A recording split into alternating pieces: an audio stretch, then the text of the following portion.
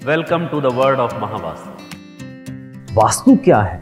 भवन में भाव की दिशा, गुणवत्ता और सार्थकता का अध्ययन है वास्तुशास्त्र कहीं आपका भवन आपको डिस्ट्रैक्ट तो नहीं कर रहा, कहीं डेविएट तो नहीं कर रहा, कहीं आपकी सोच को डिल्यूट तो नहीं कर रहा। और मैं वो विधियाँ दूँगा जिससे तुम्हें देखना आ जाए। हर दिशा का एक गुण धर्म है, वो फिक्स है।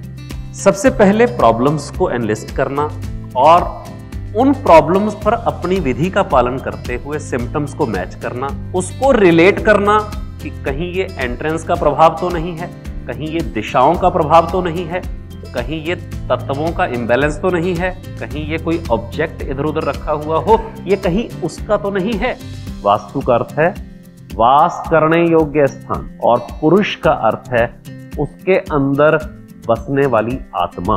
वास्तु पुरुष का लिटरल मीनिंग है बिल्डिंग के अंदर का स्पेस मैंने क्या क्या ढूंढा? इधर उधर से इंफॉर्मेशन को पिक करके टेस्ट करके वेरीफाई करके करेक्ट करके मैंने पंच तत्व कौन सी दिशा में कौन सा तत्व है ये मैंने ढूंढा वास्तु। किसी भी भवन में जैसे ही आप पाँच तत्वों को संतुलित कर देते हो तो चक्रास भी बैलेंस होने शुरू हो जाते हैं। वास्तु इतने बड़े होने का विज्ञान है ये एक बंद चार दीवारी में भी परमात्मा पैदा हो जाता है। तो ये परम तब तक ले जाने का विज्ञान है। जुगाड़बाजी का काम नहीं है। जिसका स्पेस कमज़ोर हो, वो आदमी दारू ज़्यादा पीता है। क्योंकि तो उसको फिर कड़वा अच्छा लगता है। जिसका अर्थ कमज़ोर हो या इम्बेलेंस हो, वो मीठा ज़्यादा खाता है। जो एलिमेंट इम्बेलेंस है, आदमी का उन टेस्ट के प्रति रुझान बढ़ जाता है। मैं रोज फैक्ट्रियों में मशीनें लगवाता हूँ। और इंडस्ट्रियलिस्ट जानता है अच्छे कारीगर नहीं मिलते। मैं मशीन को ऐसी जगह लगाता हूँ कि टॉप का कारीगर आके काम कर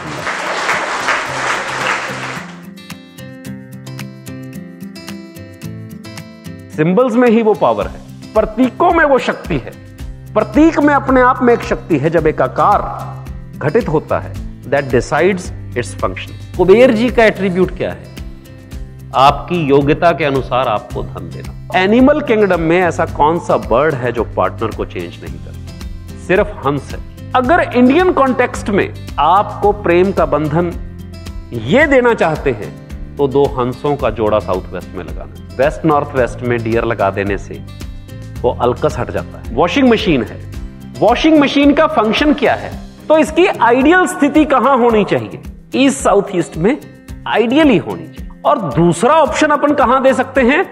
साउथ साउथ वेस्ट में दे सकते हैं। एक एक दिशा में उस मशीन को लगाना है, उसके प्रयोजन को जान के। जहाँ पर क्वालिटी कंट्रोल करके रखना है हाईली स्किल्ड साउथ वेस्ट में लगेगी। जहाँ जिस मशीन में हाईली स्किल चाहिए इस प्रकार से अलग अलग दिशाओं के जो एट्रीब्यूट्स हैं, उनको क्या फंक्शनिंग परफॉर्म करने में यूज़ करना है, इस पे मास्टरी करने से वास्तुशास्त्र में मास्टरी हो।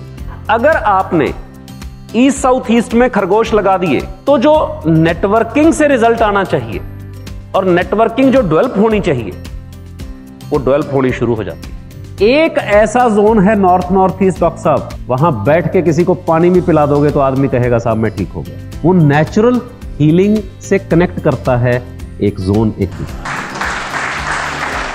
क्या समस्या है, उसके लिए एक पर्टिकुलर दिशा रिस्पॉन्सिबल है। महावास्तु कहता है, जो पेन है, जो दर्द है, जो तकलीफ़ है, वो दिशा इंगित करती है कि किस दिशा में आपको इलाज करना we don't believe in Brahmasthan जिस भी सिविलाइजेशन में सेंट्रल कोर्टयार्ड ओपन है, वो सिविलाइजेशन हमेशा गुलाम रही है। गूगल करके देख दो प्रकार का वास्तु होता था, एक राजा के लिए और एक प्रजा के लिए। प्रजा में जो वास्तु प्रचलित किया गया वो लोग कभी कोई पॉसिबिलिटी को एक्सप्लोर ना करें। इसके लिए सेंट्रल कोर्टयार्ड खाली रखने को कहा गया। महावास्तु प्रोग्रामिंग का वास्तुशास्त्र का एक ही प्रयोजन है कि तुम्हें पीड़ाओं से राहत कैसे वास्तु में भी करता था लेकिन ज़ीरो। मतलब जो जोन का जो सिस्टम मिला है यहाँ कमाल का। एक सबसे ज़्यादा चीज़ जो अच्छी लगी कि यहाँ पे हर व्यक्ति देने के लिए तैयार बैठा है।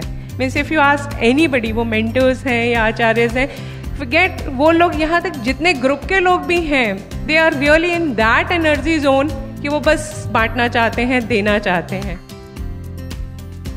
मैं यूएस से आई हूँ, मैं स्पेसिफिकली ये कोर्स करने के लिए आई हूँ। मुझे क्या पसंद है, ये समझ में आ गया, और मुझे क्या चाहिए, वो समझ में आ गया। पर at the same time mind में ऐसे क्लैरिटी नहीं हो रही थी जो मैं आपको बोल रही थी कि मुझे लोगों को हेल्प करना। मैगजीन स्टोर करके रखे हुए।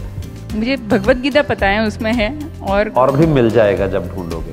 ओ अच्छा जो सारे आरती वाले बैंक ये हैं okay One thing I want to tell you, uh, this course is the number one Vastu course throughout the world. I would thank you very much for an excellent presentation, teaching to all of us, and I would accept that you are my guru from now.